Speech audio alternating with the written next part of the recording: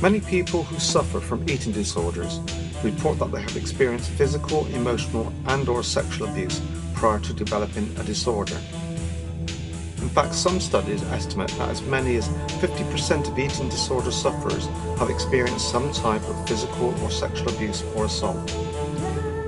While there are certainly many people who experience abuse without developing an eating disorder, such as anorexia nervosa, bulimia nervosa or binge eating disorder, it is well accepted that trauma can place a person at higher risk.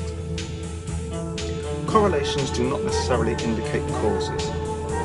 Abuse is a non-specific risk factor, which means it can lead to many kinds of psychiatric problems, sometimes including eating disorders, but often also including anxiety and depression.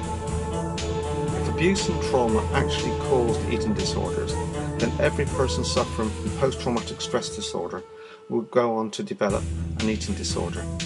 This is simply not the case.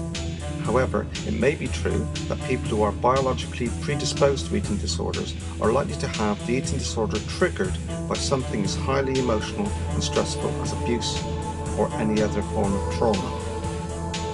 Abuse during childhood is thought to be especially problematic since children process information in a different way than adults. They are developing their sense of self and their core beliefs about how the world around them works. When someone is told over and over again that they are not loved or that they are a problem, eventually they begin to believe it and take it on as their identity.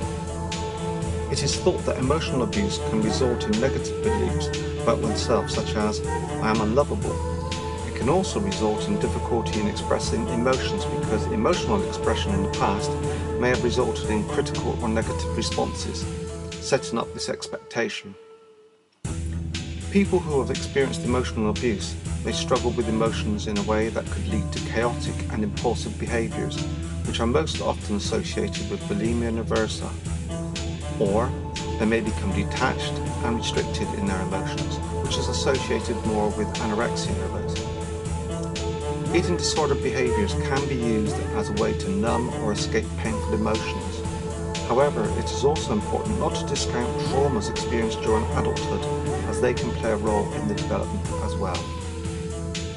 For many survivors of abuse that develop an eating disorder, there is a belief that the eating disorder is a means of survival for them. Eating disorders are tricky, and they have a way of convincing sufferers that the eating disorder behaviours are healthy and required. Much of the time, sufferers find that the eating disorder behaviours manage to interweave themselves with any form of emotional stress, and therefore appear strongest when stress is present. Whilst it is important to understand that the eating disorder and the trauma are separate issues, they often become linked in the sufferer's understanding of them. Many sufferers feel that the eating disorder is a way that they are able to cope with their trauma and stress. For this reason, many sufferers are scared to give up their eating disorders.